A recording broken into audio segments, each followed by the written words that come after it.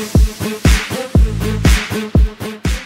everybody, just wanted to show you the progress I made on installing the 20 watt laser module from Ortur onto the Laser Master 3.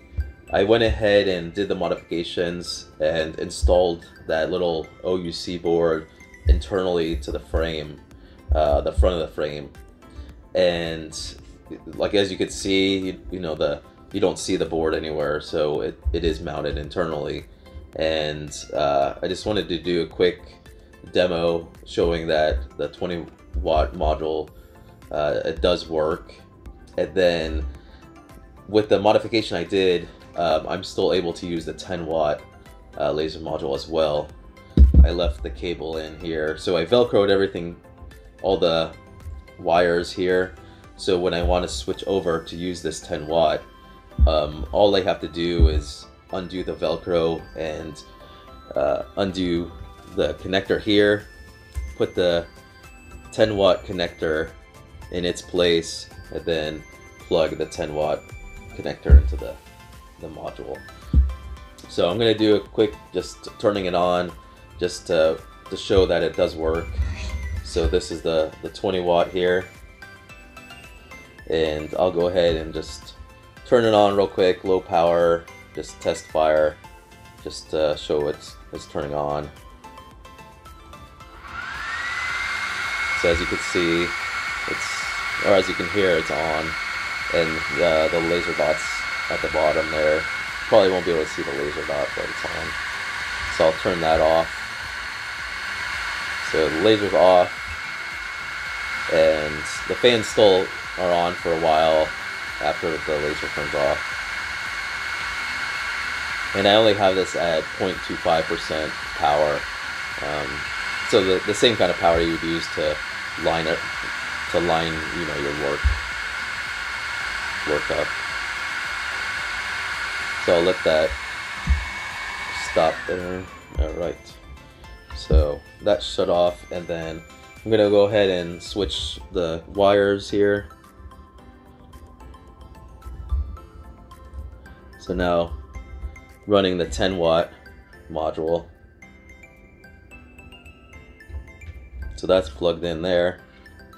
And then I'll put this right here. And then I'll go ahead and turn this guy on too.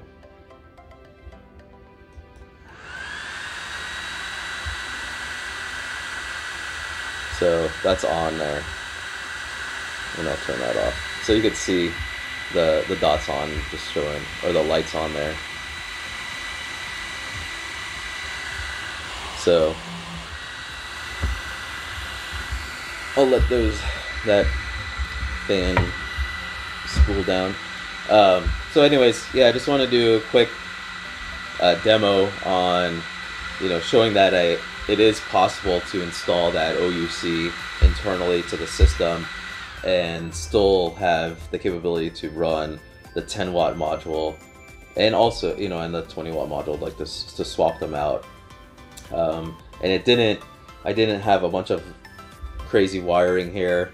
Um, I did have to use some custom or not custom some special connectors um, for for the installing it.